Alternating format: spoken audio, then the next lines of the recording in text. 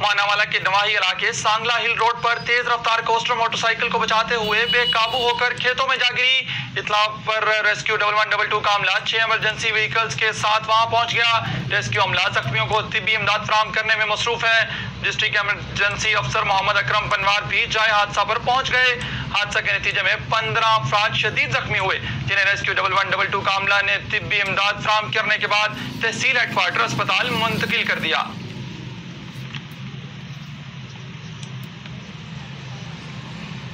नवंबर शुरू होते ही लोहे ढीर के मीठी रिवाजी